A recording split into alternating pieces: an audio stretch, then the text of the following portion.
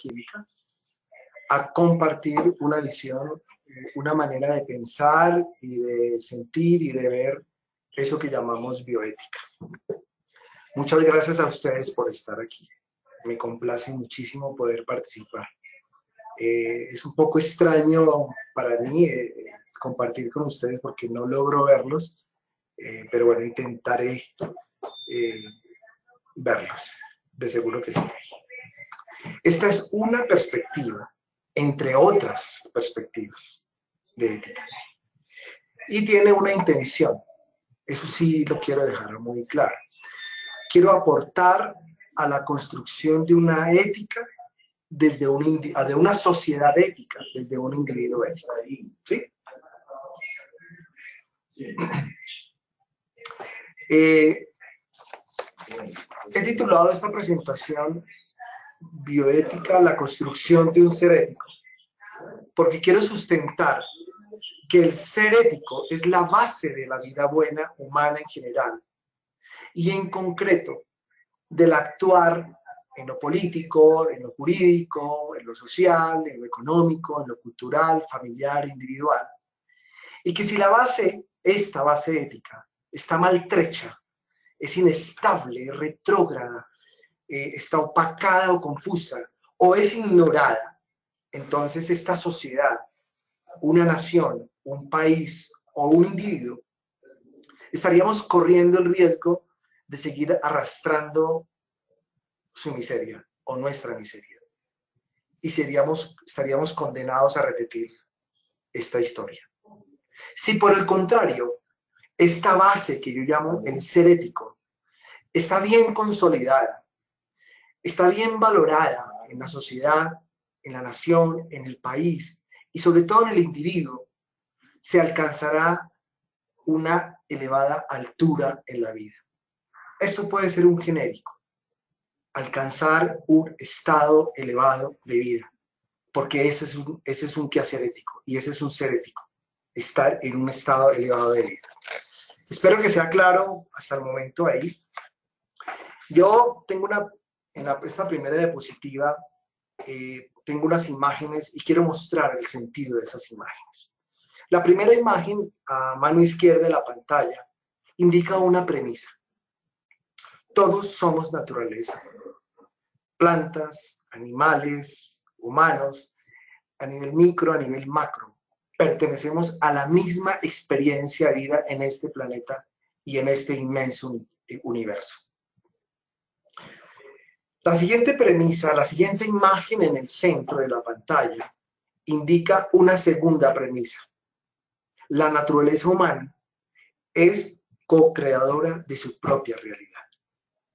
Allí radica su tesoro más valioso, el ser libres, su propósito vital, el ser feliz y el mayor logro de los seres humanos, la expansión.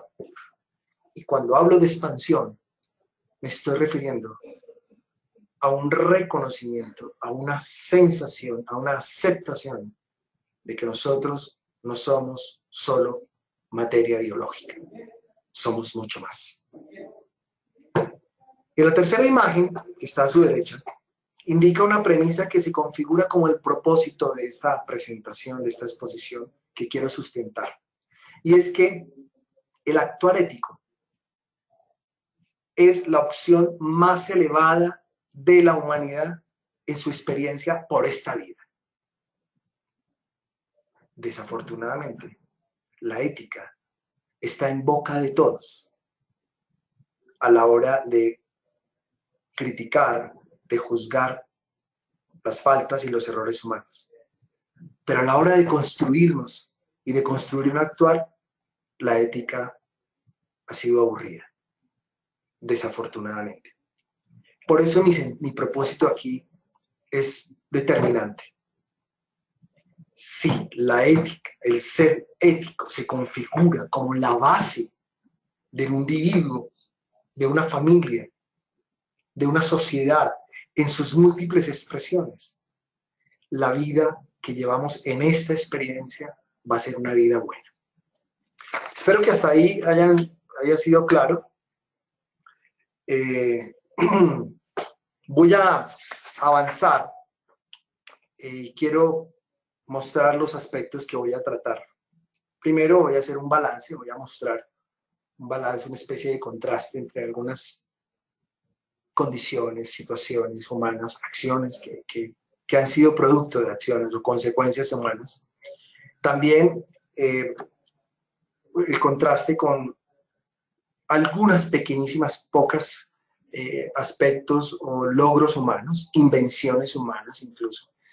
Eh, son muy pocas en esta segunda parte porque me gustaría que ustedes pudieran mostrar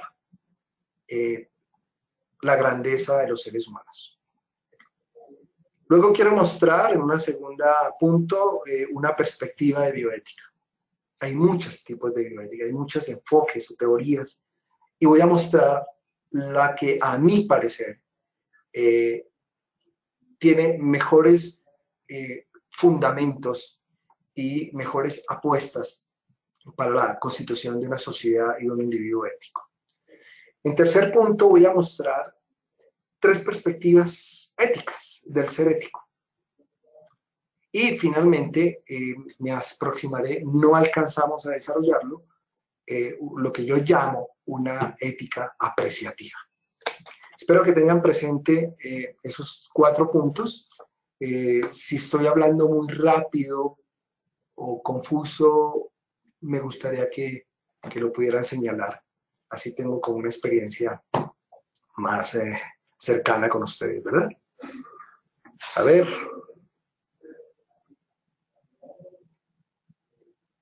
Ok.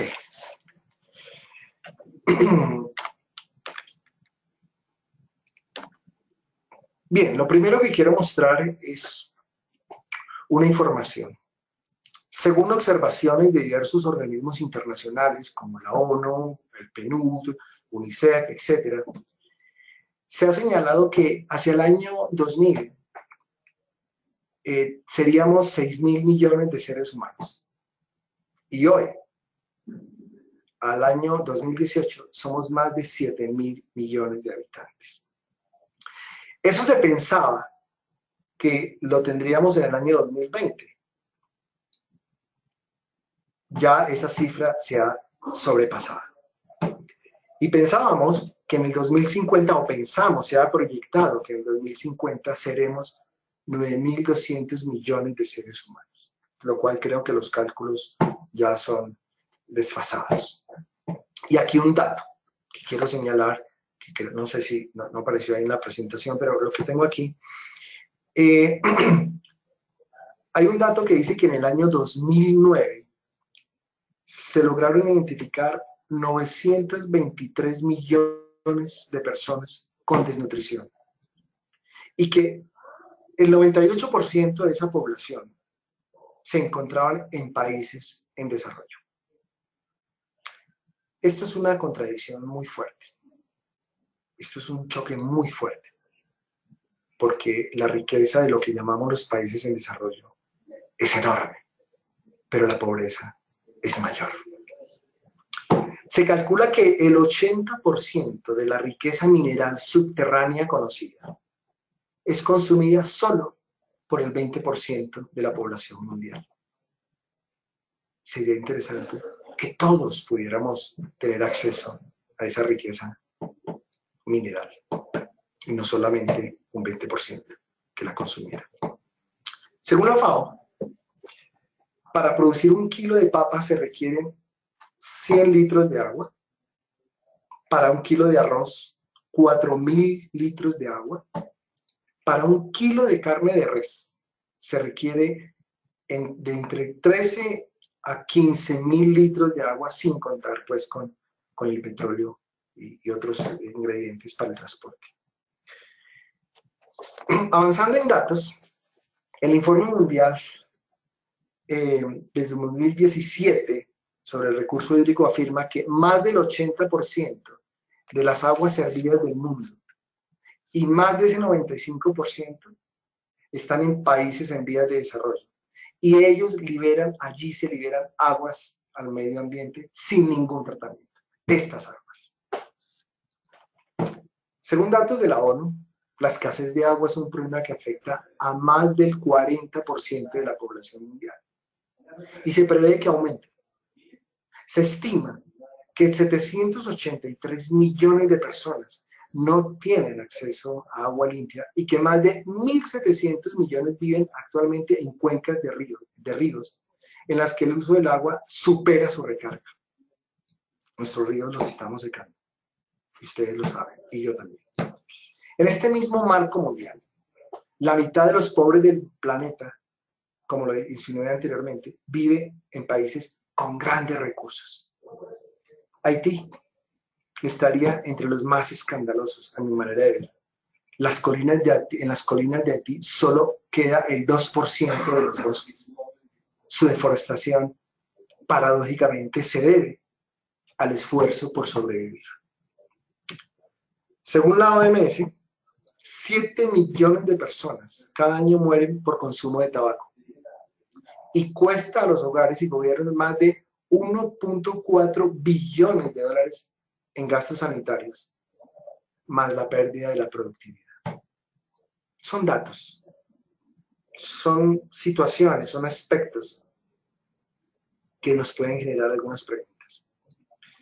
Ya para terminar, si revisáramos la historia de la humanidad en relación con acciones violentas, tipo cañaverismo, masacres, genocidios, hambrunas, desapariciones, holocaustos y guerras, el número de muertes humanas es gigante. Y el nivel de sufrimiento experimentado es profundo. Un dato, uno no más, porque hay una lista enorme de acciones, de masacres, etcétera, en la historia de la humanidad. Por ejemplo, el Imperio Romano, durante su época de imperio, durante siete siglos, exterminó y esclavizó a millones de personas. Es decir, tenemos una historia humana de tragedias bastante larga, que no la quiero hablar, pero ustedes pueden averiguarlo por internet se buscan masacres, genocidios en la historia de la humanidad. La historia es inmensa. A mí me surge una pregunta. ¿Hacia dónde nos dirigimos? Como, como individuos, como colectivo, como sociedad, como humanos en su conjunto. Pareciera que hay un problema. ¿Y dónde está el problema? Y es aquí donde yo quiero tocar ese punto eh, con, con cierta delicadeza, con cierto cuidado. Eh, en este marco del balance, quiero ver algunos brevísimos aspectos positivos de los seres humanos. Y solamente puse estos porque a mí me gustaría que en un momento en el diálogo ustedes pudieran señalar otros aspectos positivos de los seres humanos.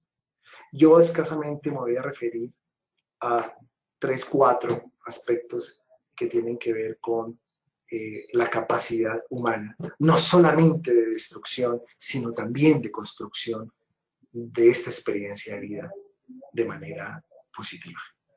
Uno, un aspecto positivo que yo resalto es la posibilidad de una comunicación con otros seres humanos en tiempo real. A mí esto me parece fantástico.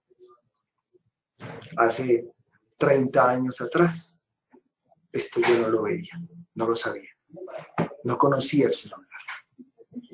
Y hay experiencias hermosas de mi vida personal cuando yo me mm, encontraba como estudiante de filosofía en la universidad y tenía una novia y teníamos una cita. Y yo llegué eh, tres horas después porque no tenía cómo comunicarle, que estaba en un trancón. En esa época yo venía de Fontibón hasta eh, la Universidad Javeriana y quedamos ahí. ¿Qué es lo más maravilloso que yo recuerdo de esa experiencia con esta, con esta chica? Que eh, yo corriendo, preocupado por llegar temprano, bueno, en fin, tres horas después, y me la encuentro. Me encuentro en el sitio donde habíamos quedado de vernos. Y su reacción fue hermosa una experiencia que llevo en mi corazón. La primera pregunta que ella me dice es, ¿qué te pasó? Y bueno, conté, etcétera, y bien, no pasó nada, no tuvimos ningún conflicto y seguimos, etcétera. Hoy tenemos la comunicación como la que estamos teniendo ustedes y yo.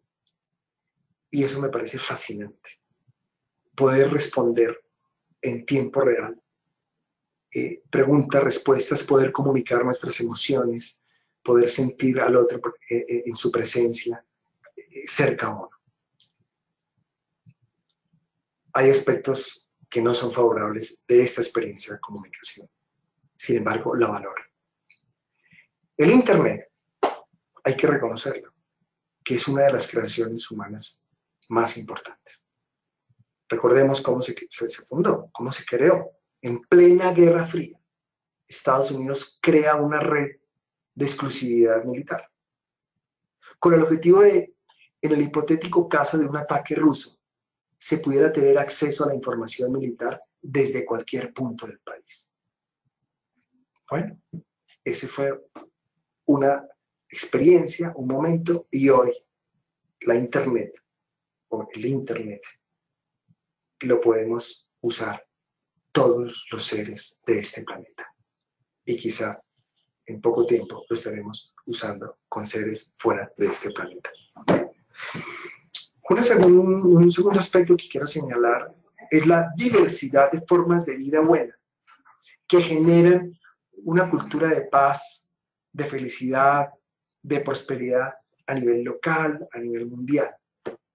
Hay sociedades en este, en este planeta que viven muy bien, tanto en América Latina como en Europa, en Asia, en Oceanía, en América del Norte y en los polos. Sí, hay sociedades que... La imagen que ustedes tienen a su derecha, por ejemplo, es eh, un festival de verano en Oslo me parece que es posible que nosotros nos podamos divertir, eh, disfrutar de eventos como un verano con paz, con alegría, con, con confianza y con seguridad el otro.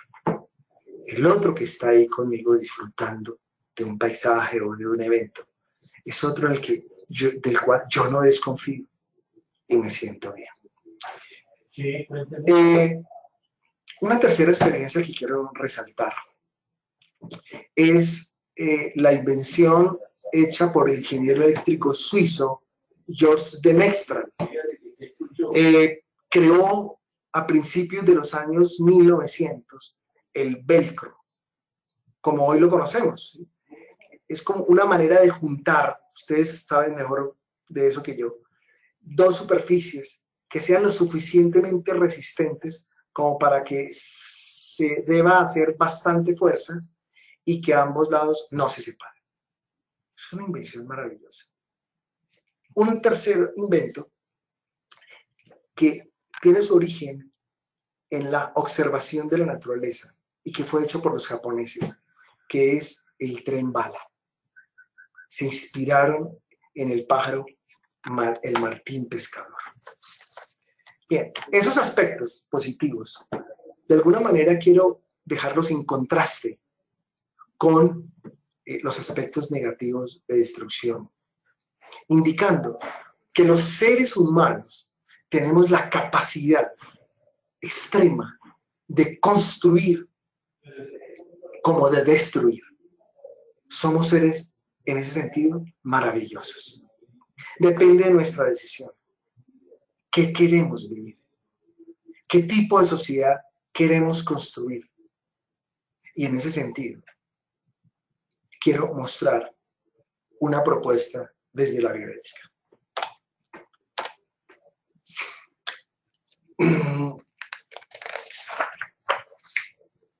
La bioética como un saber práctico. Quiero que tengan esa idea muy clara. La bioética es un saber práctico. Si bien tiene un origen como disciplina, yo la quiero centrar como una experiencia, como un conocimiento práctico. Y ya voy a avanzar sobre eso. Tiene un poco más de 40 años de desarrollo y con Potter a la cabeza, ya señalaré quién es Potter, plantea la configuración, ojo, de un proyecto donde el conocimiento científico, en particular el biológico, y el conocimiento filosófico propiamente, el carácter ético, pudieran dialogar y aportar a la solución de problemas relacionados con la vida en general y la vida humana en particular. En la perspectiva original de Potter, aparece la bioética expresando un sentido determinante de su ser y del hacer. Creo que ahí voy bien, me cuentan. De una parte, plantea que la bioética es una ciencia de la supervivencia. Y de otra, plantea como un puente hacia el futuro. Se podría indicar que la apuesta de Potter con la bioética, bios y etos, además de un proyecto en que la filosofía y la ciencia pudieran combinarse con otros saberes interdependientes, tenía una función de supervivencia de la vida.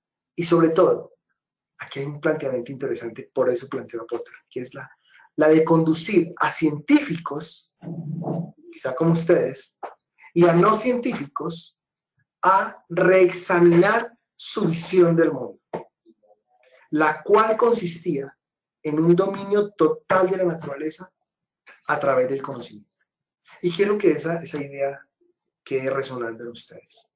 Esa visión absolutista de controlar el mundo, de dominar el mundo total de la naturaleza, ha marcado las decisiones humanas. Lo cual nuevamente nos indica en, la, en una de las premisas, la segunda premisa que planteé al inicio. Nosotros somos co-creadores de nuestra propia realidad dependiendo de nuestras visiones, de nuestras perspectivas y dependiendo de nuestras decisiones. La palabra bioética fue acuñada en 1927 por el pastor protestante, eh, teólogo, filósofo y educador alemán Fritz Jarr, quien usó la combinación de la palabra bioética, eh, la unión de los vocablos griegos bios, vida y etos, comportamiento, en un artículo sobre la relación entre el ser humano, las plantas y los animales. Esa es una perspectiva. Otra perspectiva eh, la tiene eh, Van Rensselaer-Potter, que es la línea de pensamiento desde donde yo presento la bioética. ¿Quién es Van Rensselaer-Potter? Es un bioquímico estadounidense profesor de oncología en el laboratorio de McCarthy, de, de de investigaciones sobre el cáncer de la Universidad de Wisconsin. Eh, fue profesor allí por más de 50 años.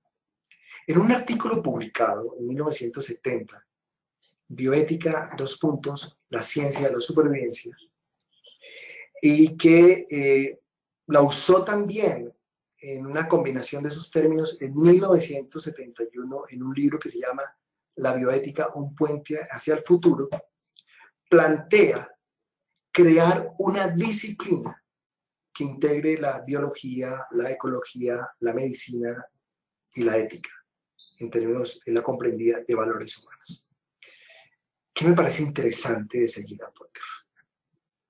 Eh, varias cosas, pero hay una cosa primera. La propuesta viene de un hombre, de un académico, de un bioquímico, de un investigador en el cáncer, un estudioso eh, del fenómeno del cáncer. Eh, no podemos garantizar que él, tiene una formación filosófica. Esto a mí me hace, me llama la atención, en el que la ética no solamente es un campo de la filosofía, sino que pertenece a la, propia condición humana. Como un académico, como científico, él se planteó la preocupación por la supervivencia de la humanidad y también por la calidad de vida de los seres humanos y posteriormente de la vida de todos los seres humanos. Dos intuiciones quiero resaltar de la propuesta de Potter. La primera tiene que ver con la idea o la imagen de que la bioética es un puente hacia el futuro. Lo que indica esto es comprender que la bioética, una función de la bioética, es la de posibilitar un encuentro entre diversas ciencias y profesiones.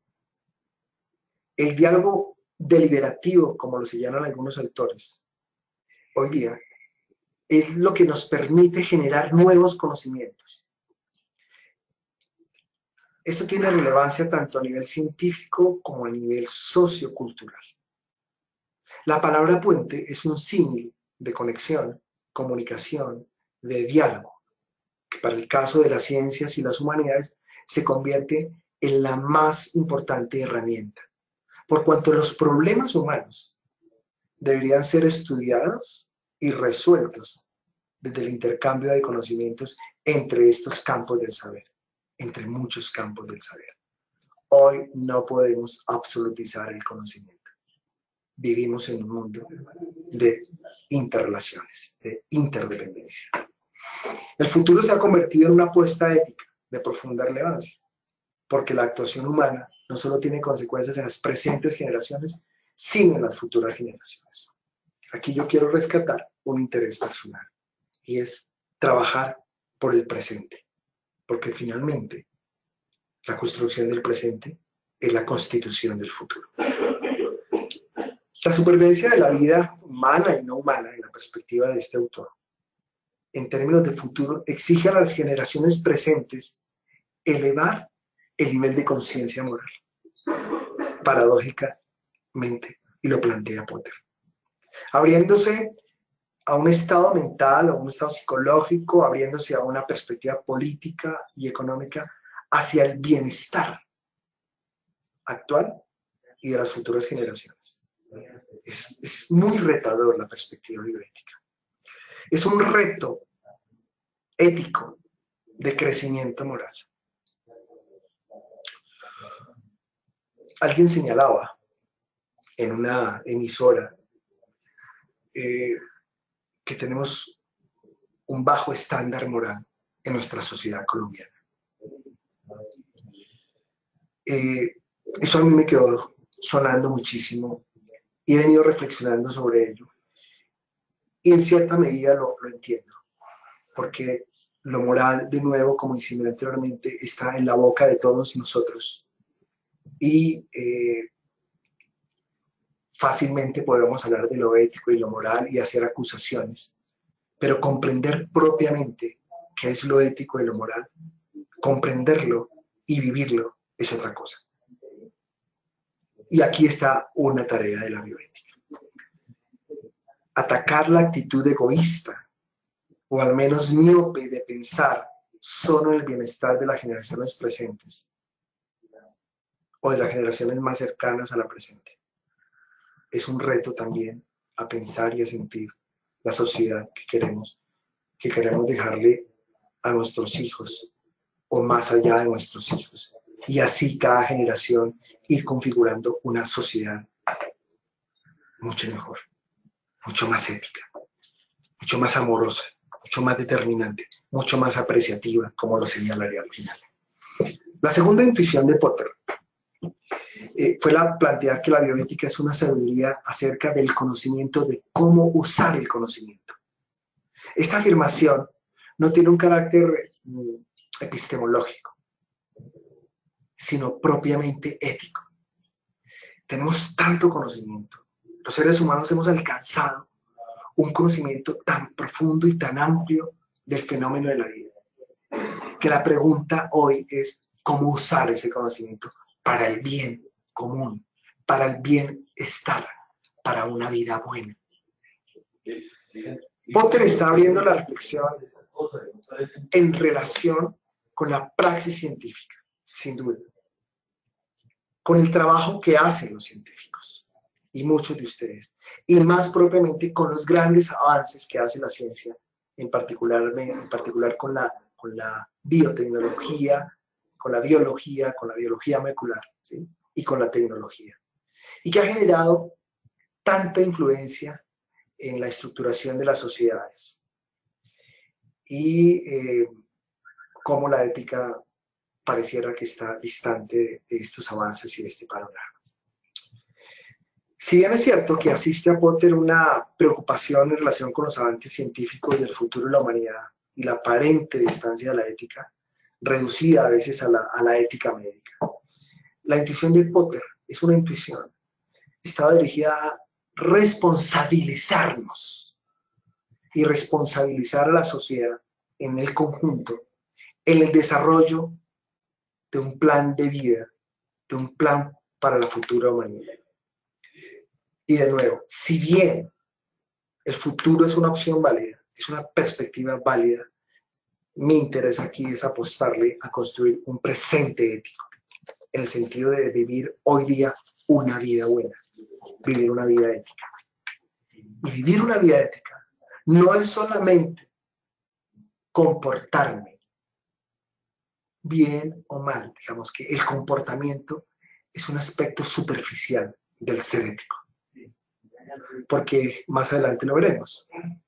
Tú puedes aparentemente comportarte bien. Tú puedes aparentemente cumplir una norma, pero no eres moral, no eres ético. Y esas son dos perspectivas que hay que tenerlas muy claras en el actuar humano y en esta sociedad. Finalmente, mi posición, derivada de la perspectiva bioética potteriana, es una apuesta trascendental, es una apuesta valorativa en sentido filosófico, por una vida buena, como nos gusta a partir del saber bioético de cómo usar el conocimiento. Todo tipo de conocimiento. ¿Cómo usarlo? En este sentido, la bioética se comprende como saber, ya lo dije, práctico, que se enfoca en el respeto por la vida, por la vida humana y no humana. No vamos a profundizar, desafortunadamente por cuestiones de tiempo, por el respeto, pero vamos a aceptar que todos tenemos una idea más o menos clara de lo que significa el respeto. Cuestionamos directamente al discurso y a la acción de una racionalidad netamente economicista, privilegiando la urgencia de un discurso coherente con una actuación sustentable. Eso ahí no se coordina mucho. En consecuencia, para mi perspectiva, la bioética es una oportunidad. Para, es una oportunidad nueva para pensarnos, para sentirnos, para tratarnos y vivirnos a plenitud. Y aquí quiero resaltar la palabra plenitud. Nosotros no podemos en esta experiencia permitirnos vivir de cualquier manera. Un ser ético vive a plenitud, de manera decidida, sin miedo y sin cobardía. Y una de las más importantes tareas es la de aportar a la construcción, todos, y al desarrollo de un ser humano ético. No somos cualquier cosa. A mis estudiantes del pregrado, yo les hago como una, como una analogía, como utilizo eh, la metáfora de, de nuestros orígenes.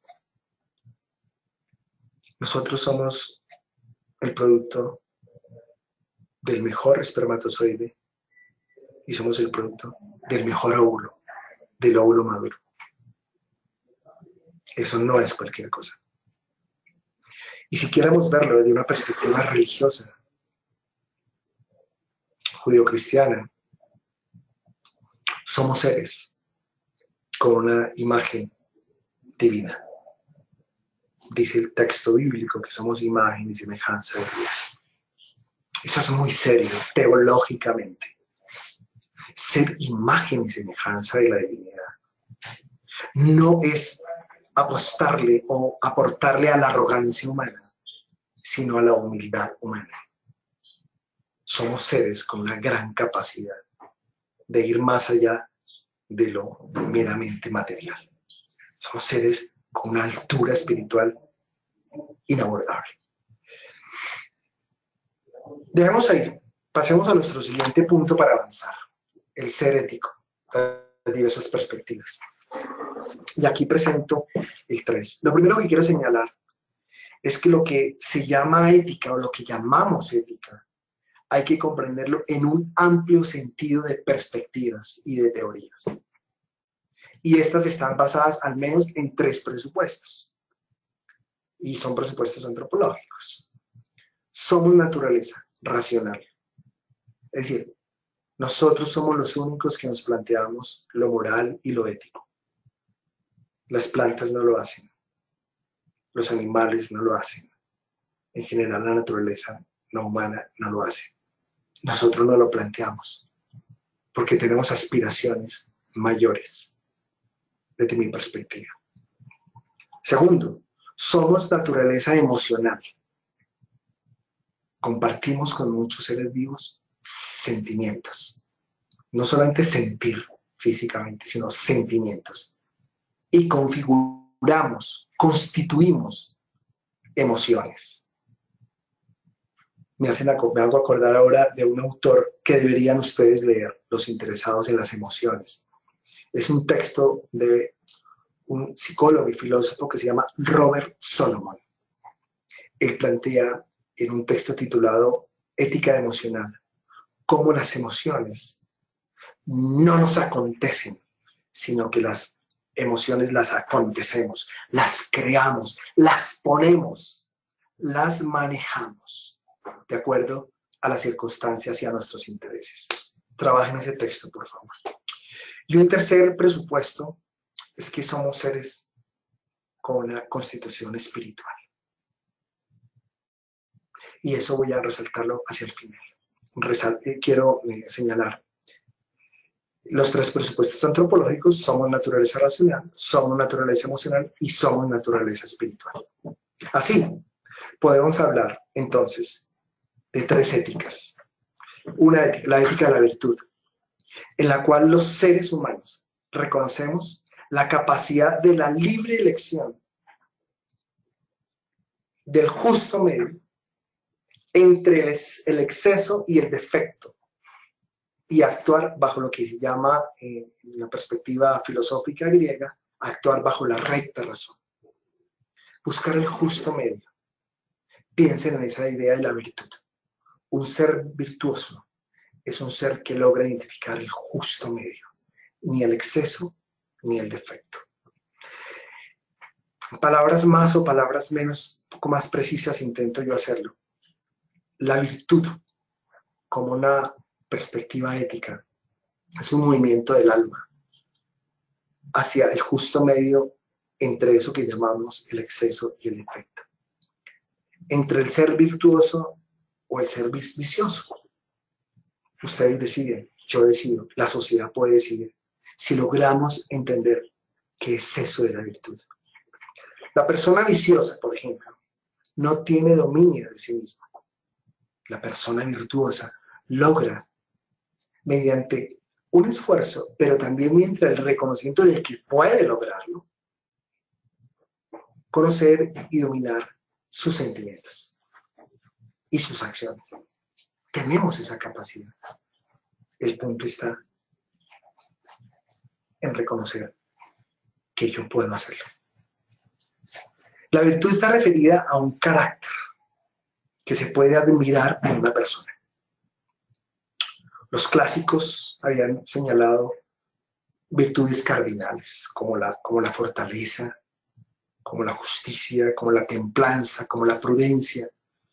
Y me gustaría que ustedes las buscaran, cuáles son esas virtudes, qué es ser, qué, es tener, ser virtuoso una, desde la perspectiva de la templanza o la prudencia. En este sentido, ser virtuoso genera una pregunta, entre muchas, pero yo me pregunto, mira, ¿qué tipo de ser soy si actúo de esta forma? ¿Qué tipo de ser soy si actúo de otra forma? Con esto quiero señalarles que el ser virtuoso tiene la capacidad de mirarse a sí mismo, de conocerse a sí mismo antes de la acción. ¿De acuerdo? Podemos actuar y eso se refleja en, el pensamiento popular que nuestros abuelos o nuestras mamás nos han dicho antes. Mijito, piense antes de actuar.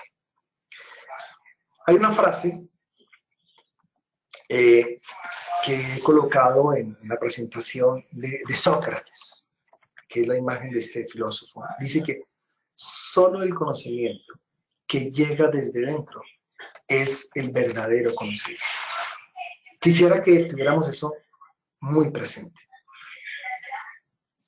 que es la posibilidad del contacto consigo mismo. Eso que llamamos conciencia no es más que otra cosa que contacto consigo mismo, con su propio yo, con su propia historia, con sus propias posibilidades y con sus propias limitaciones. Ahí está el ser virtuoso, ahí está el ser ético. Cuando usted está desalineado, descoordinado, desenfocado de sí mismo y de su propio conocimiento, usted está sometido al vaivén de las influencias externas. Ahí pierde usted la condición de ser virtuoso. O por lo menos, si no la pierde, porque la verdad no la perdemos, por lo menos sí se nos confunde, se nos refunde. En la teoría ética encontramos una perspectiva que llamamos la ética kantiana.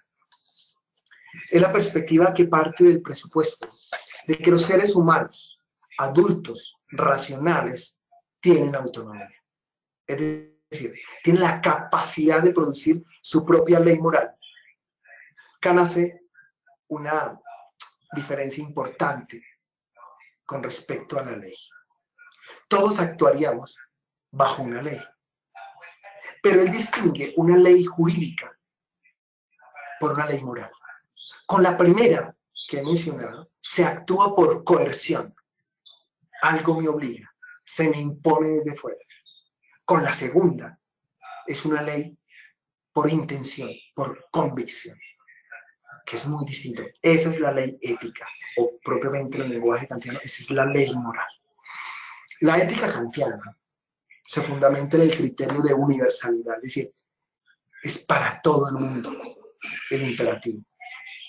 Es un principio de actuación moral que no está mandado por la divinidad o por una divinidad alguna, o que no está mandado por un impulso emocional.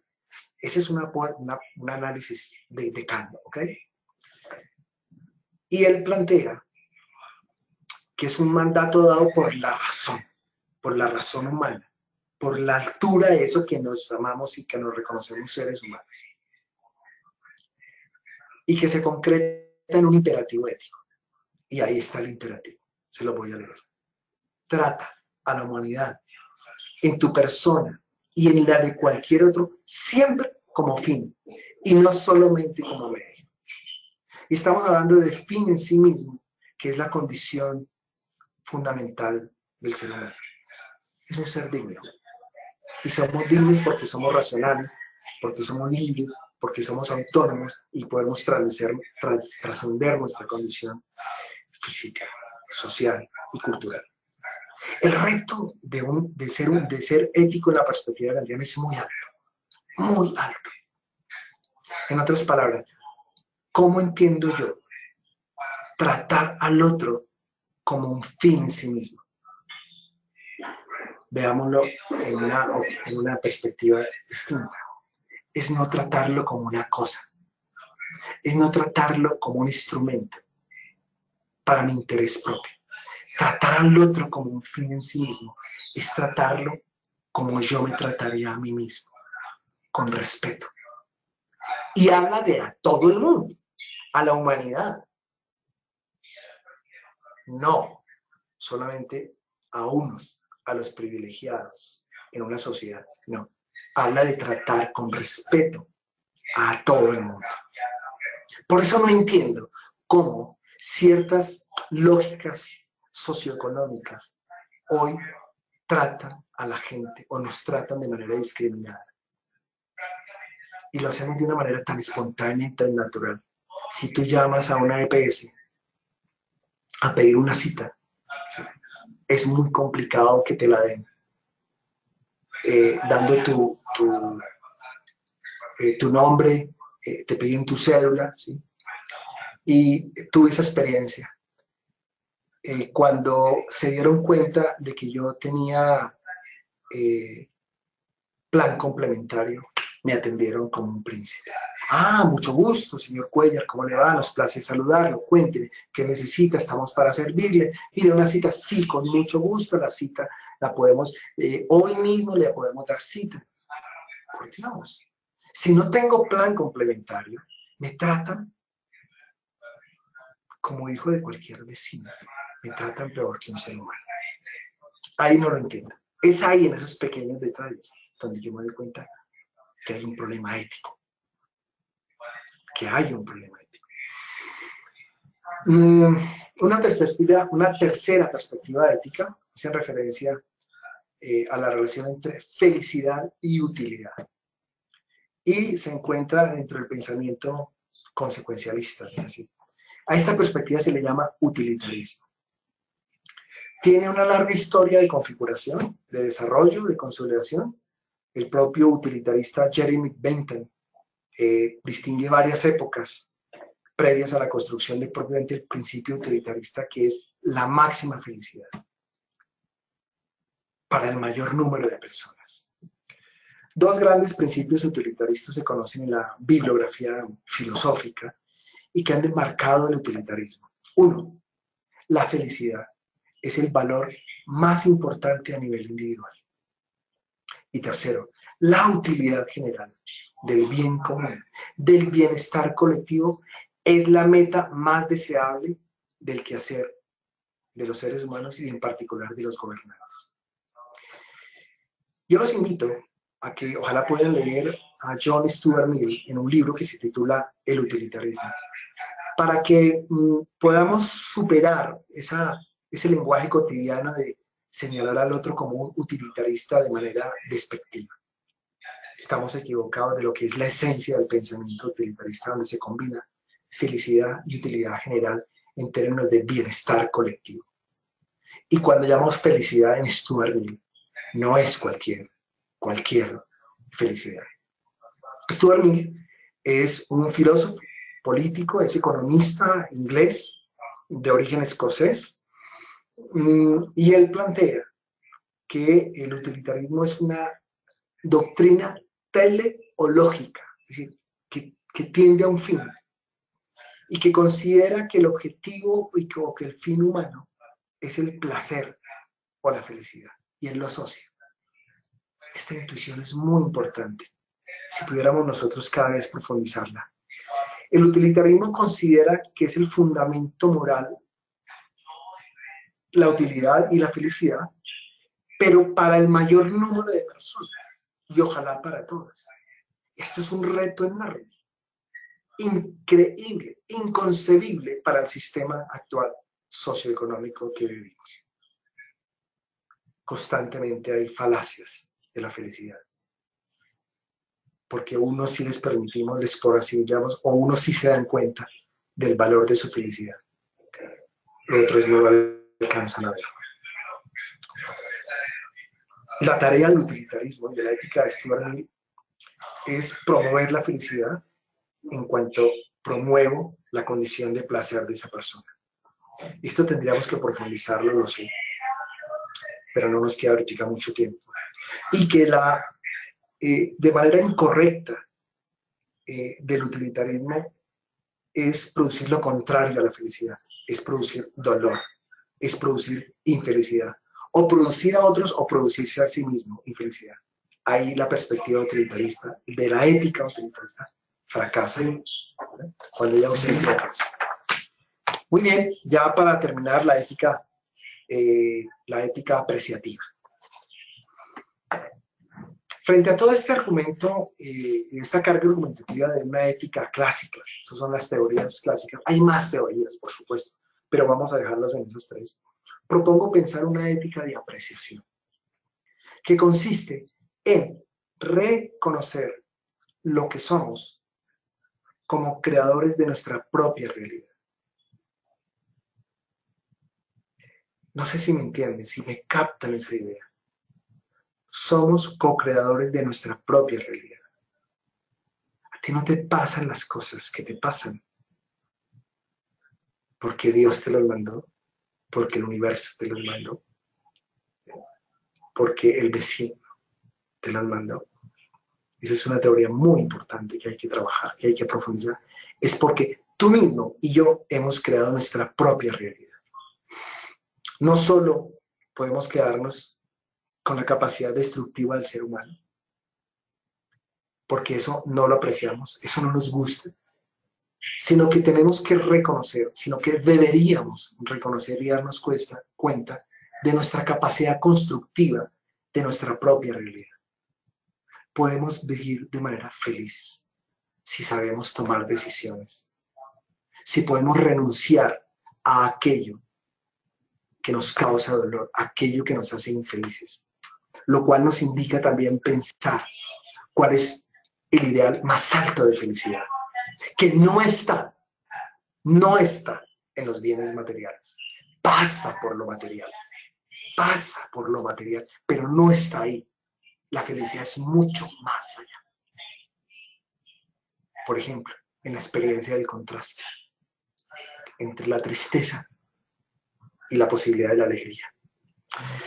Enfocamos, no sé, enfocarnos en la apreciación de la vida, en todas sus manifestaciones. Apreciar la vida en todas sus manifestaciones es transformar la propia forma de vivir. Incluso ante las manifestaciones podemos construir un modo de sentir lo que queremos vivir. Es decir, antes de la manifestación, podemos nosotros configurar una realidad, sentirla de manera anticipada. Eso ya nos conduce a ser creativos. Tú vas a crear una empresa. Tú te la imaginas, tú te la sueñas, tú la sientes. Y eso te genera cualquier cantidad de aspectos creativos para que tu empresa salga adelante. Ahí es donde está el punto de la apreciación básica e inicial. Si no tenemos eso, si al proponerla, por ejemplo, inmediatamente le estamos poniendo peros, nuestra empresa fracasa. El presupuesto teórico de la ética de la apreciación es que los seres humanos estamos constituidos fundamentalmente por materia espiritual. Repito, el fundamento, el presupuesto teórico de la ética de la apreciación es que nosotros los seres humanos estamos constituidos fundamentalmente por materia espiritual, por energía del universo, por energía divina, si se quiere. Por eso no podremos morir. Solo podremos transitar de esta experiencia de vida a otra experiencia de vida. Lo señalan las grandes religiones, las grandes filosofías, el budismo, el hinduismo, etc. De manera ilustrativa, ya para cerrar, propongo unas actitudes alternativas que permitirán alcanzar un actuar ético de apreciación. Veamos. Eh, a su lado izquierdo, creo, eh, aparece la independencia en correspondencia con una actitud alternativa, que es la interdependencia. Ante la realización personal se propone la búsqueda de la sabiduría. Ante la crítica y la autocrítica proponemos el reconocimiento de fuerzas personales. Es mirarse en lo positivo. Ante centrarnos en la seguridad o cerrarnos en la seguridad, proponemos la adaptabilidad. De hecho, la adaptabilidad es uno de los recursos más importantes de sobrevivencia de la perspectiva evolutiva. Ante la resistencia a la autoridad, ante un jefe que yo quiera, más bien propongo un liderazgo compartido. Ante dramas emocionales, búsqueda de una realización, autorrealización o de una realización personal. Eso implica volver a Sócrates y dice, el verdadero conocimiento está en ti. Búscalo en ti. Ante el miedo, renunciar al miedo y vamos al amor. Ante el control, vamos a la confianza. No, no, controlemos al otro, confiemos en el otro.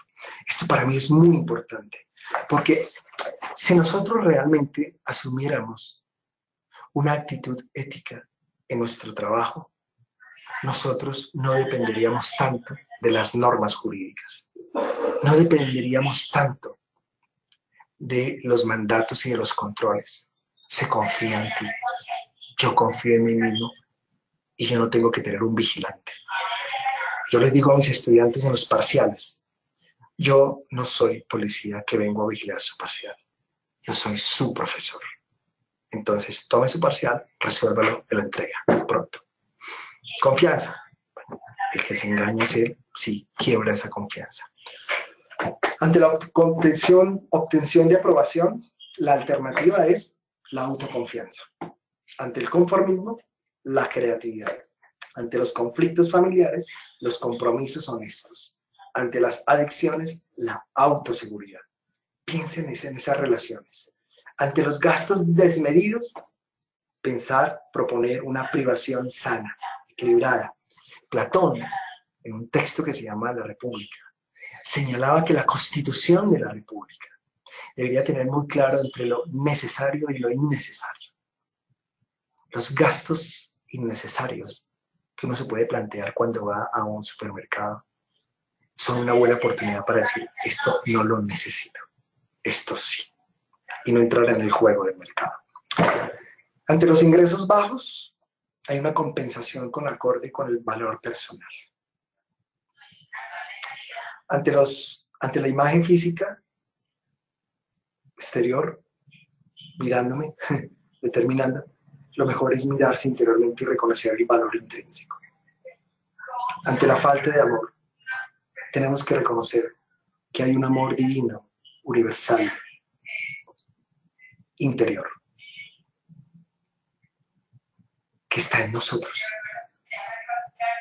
Cuando ponemos el amor fuera de nosotros, estamos mal, estamos desenfocados, estamos desalineados.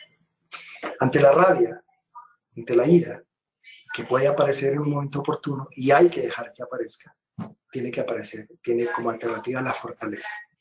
Pero es el contraste lo que nos permite reconocer hasta dónde va una y hasta dónde viene la otra. Ante la culpa, negre, fuera la culpa y vamos al amor con sabiduría.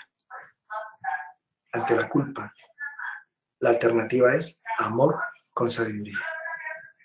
Amor a sí mismo, de manera sabia. Es decir, de reconocernos que nosotros somos amor propiamente. Ante el perfeccionismo, esa búsqueda personal que nos genera la competencia, propongo la autoaceptación. Y ante una actitud o un sentimiento de venganza por el otro, lo mejor es el perdón, o ir más allá, el aprecio por lo otro que tiene el hombre. La historia y la humanidad nos ha llevado a eh, entender, ha intentado mostrarnos eh, a partir de las contradicciones y las, eh, los opuestos, verdades que aún no aprendemos. Por ejemplo, para cerrar, las guerras, las masacres, los homicidios suceden y seguirán sucediendo porque nosotros no hemos aprendido que eso no debemos seguir, que eso no nos hace felices, que eso no se corresponde con una ética y con un ser ético y con un ético que aprecia la vida y la vida en general. Ahí, ahí hay una bibliografía enorme, algunas que las puse que espero que cuando se tiene la presentación queda en alguna parte, mm, la pueden bajar, la pueden buscar. Es una. Hay más, pero dejé esa nomás para, para compartirles este. E, e, estas son las lecturas, los libros que yo he consultado, que me han venido formando de otra cantidad enorme, pero dejé esos para, para que ustedes puedan verla mejor. Quiero cerrar, quiero agradecerles su presencia su participación con las tres ideas iniciales, eh, las tres premisas. Todos somos naturaleza, los seres humanos somos co-creadores de nuestra propia realidad y que el actuar ético es la opción más elevada de la humanidad en su experiencia por esta vida. Un hombre que me ha inspirado es Gandhi. Ser el cambio que usted quiere ver en el mundo. Y Gandhi me lo enseñó. Soy un seguidor de Gandhi. Muchas gracias. Feliz noche.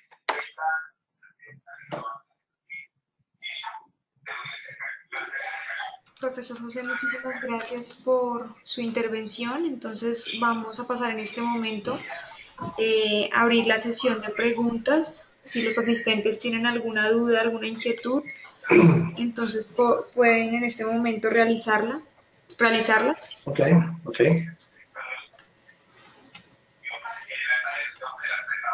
Pues, o, algún comentario o alguna apreciación de, lo que compartimos en, esta noche. Señor. Y mientras entonces eh, pregunta, eh, realizan alguna pregunta, entonces en este momento voy a publicar un sondeo eh, que realizamos siempre al final de, de, los seminarios para evaluar la satisfacción y para poder mejorar también en nuestros procesos. Por supuesto, está muy bien.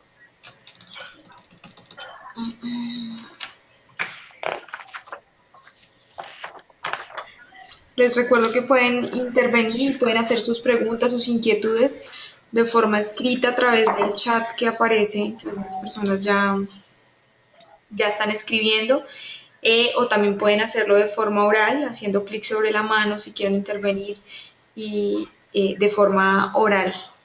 Magnífico.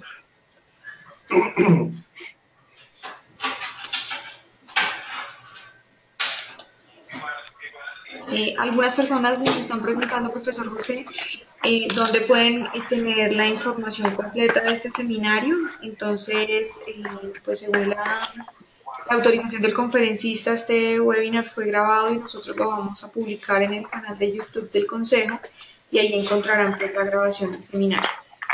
Ok, sí, me parece bien.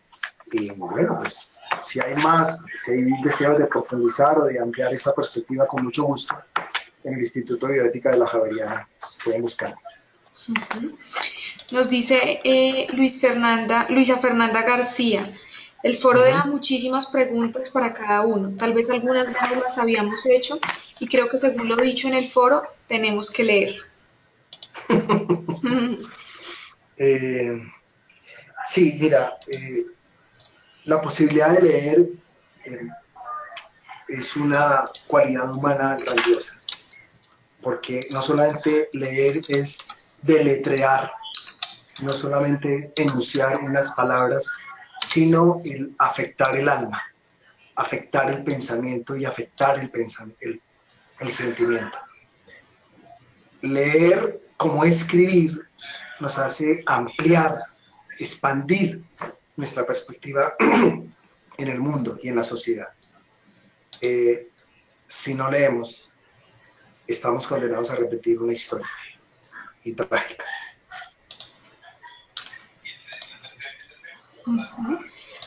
Nos pregunta también Luisa Fernanda que además de Solomón, ¿en dónde podemos, en dónde más podemos leer de ética emocional? Bueno, hay, hay varios autores que pueden orientar. Hay, un autor que se llama Jesse Prince, eh, que es otro autor que puede ayudarnos. Eh, Steven Pinker, también. Eh, hay un autor que coloco en la bibliografía que se llama Scott Peck. Tiene un bello libro que yo que es como un libro de cabecera que se llama La nueva, la nueva psicología del amor. No sé si, creo que está en la bibliografía. Eh, Scott Peck, La nueva psicología del amor. El título en inglés es más bonito, es el camino menos recorrido. Ese es el, título de, del texto. Muchas gracias, profesor. Nos pregunta Nadir Ramírez, ¿la robótica desmedida puede perjudicar?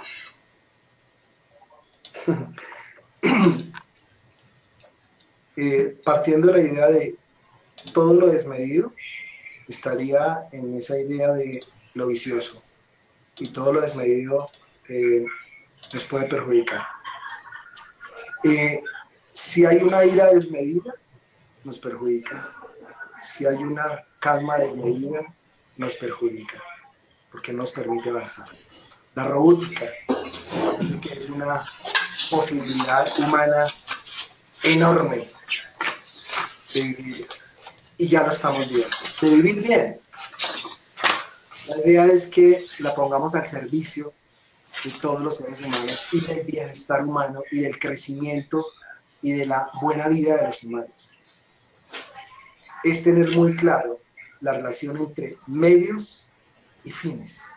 La robótica es un medio, no es un fin. A través de la robótica podemos construir, tener nuevas experiencias maravillosas los seres humanos. Muchas gracias. Mm, Sandra Rodríguez nos dice muchas gracias por la presentación. Respecto al perfil del profesional actual, además de lo técnico, ¿cuál debería ser su preocupación para sostenerse como un ser ético? El contacto consigo mismo. Un profesional es más que un profesional.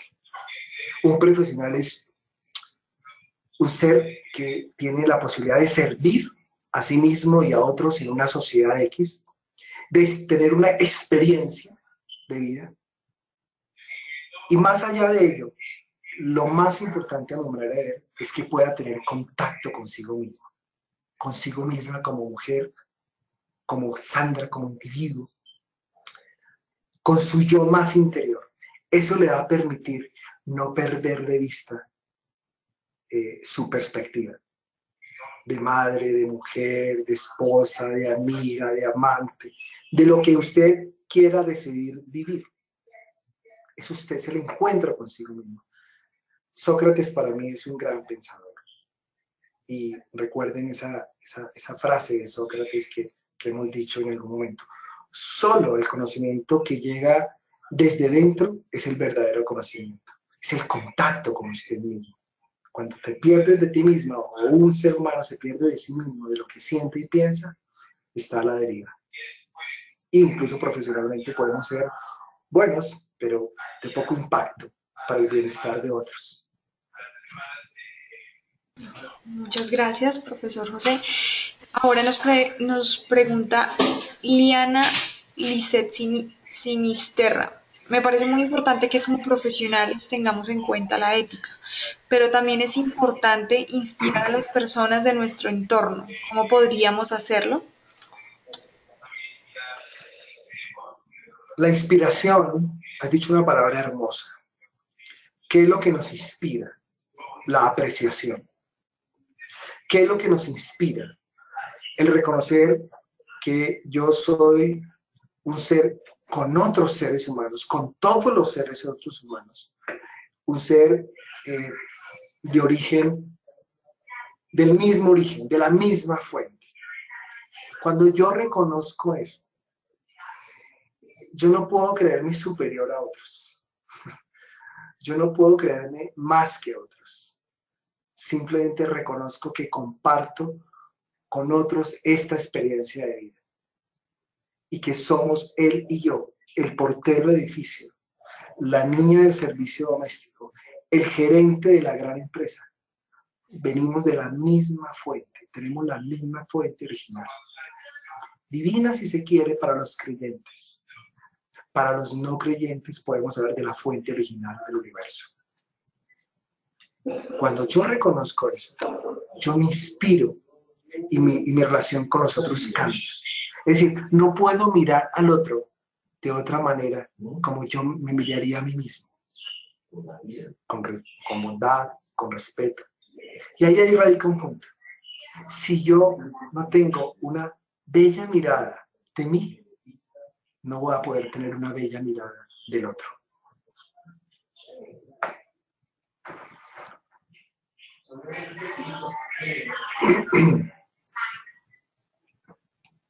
Muchas gracias. Tenemos otras eh, dos preguntas. Entonces, de Nadir Ramírez nuevamente. Hemos creado una, acelera, un acelerante de células. ¿Se puede dar gratis? No. Si no quieren, ¿cómo se esquiva el monopolio? Es que está un, poquito extraño escrito. No sé si eh, se entiende eso, profesor. ¿Se pueden dar gratis? No. No, no, no, sabría. No, no, no, no la entiendo. No la entiendo. Sí, yo tampoco. Entonces, leamos Mauricio Lora Arias.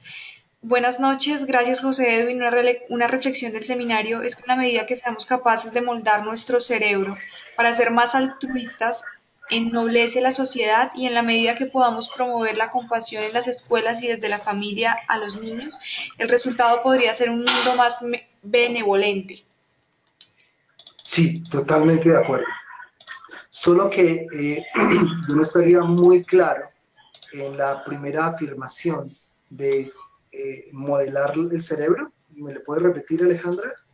Eh, sí, señor. moldear. moldear, moldear el cerebro. Sí, señor. Dice, una reflexión del seminario es que en la medida que seamos capaces de moldear nuestro cerebro para ser más altruistas, ennoblece la sociedad y en la medida que podamos promover la compasión en las escuelas y desde la familia a los niños, el resultado podría ser un mundo más benevolente. Claro. Eh, la palabra moldear el cerebro mm, no me suena mucho. La verdad no, no, no me deja muy, claro. Me gusta más la segunda parte, en el que yo promuevo la compasión en mí, primero en mí. Recordemos la teoría kantiana trata a la humanidad y en tu persona, y, después en segunda medida en la, de cualquier otra, siempre como fin y no solamente como medio. Es decir, la compasión, la benevolencia, la apreciación tienen una fuente en mí. Moldear, moldear el cerebro, si, si lo puedo reconocer un poco, es cambiar de chip, como diríamos de una manera muy coloquial, es enfocarnos cambiar el modelo de pensamiento eh, egocéntrico y abrirnos a una experiencia de reconocimiento de la calidad y de la cualidad de ser humano y de ser vivo que soy. Es un cambio de enfoque. Eh, eh, y vuelvo a repetir lo que yo decía antes. el otro no es más especial que yo, ni yo soy más especial que él. Somos lo mismo. Tenemos en esta experiencia de vida que estamos viviendo y que quizá hemos decidido vivir eh, funciones distintas, responsabilidades distintas, pero al fin de cuanto, al, fin al final son eh, la misma persona, la, la, misma, la misma base de persona que somos. Eh, hay, que, hay que transformar esta sociedad partiendo de la transformación de nosotros mismos, de cada uno. Es cada uno el que debe apostarle no pretenda cambiar al otro. Eh, de hecho, la, ética no se enseña realmente. La ética se aprende a partir de la experiencia, la experiencia y el testimonio de otros.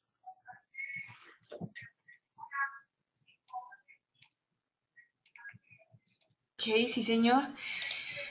Mm, nos pregunta el Leonardo Mesa, como profesional, ¿cómo, puedes, ¿cómo puedo ser un ser moral y ético?